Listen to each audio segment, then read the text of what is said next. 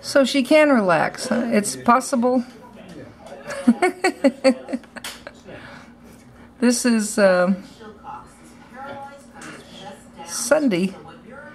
Is today the 26th or the 27th? I don't remember. I'm sorry. I'm not going to look at my watch right now.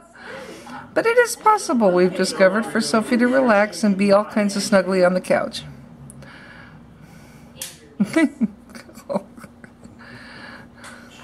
Are you a puppy? Hey, puppy. Puppy.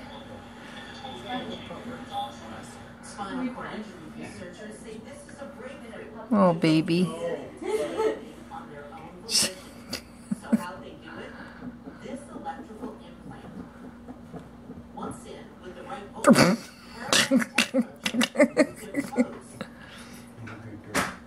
You're a good puppy. And their legs. But the big Wow. question is,